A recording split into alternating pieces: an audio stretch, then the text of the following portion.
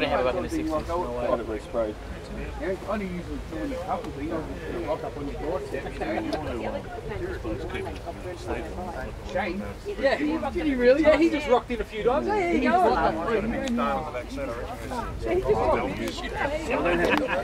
rocked in. John, I wonder what that is. That never happened. Come on. Yeah, no, you should be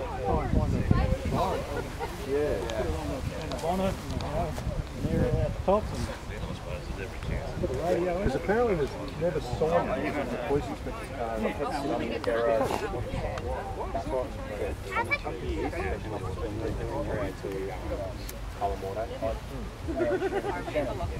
I've got to go through all his plates, his numbers, and everything.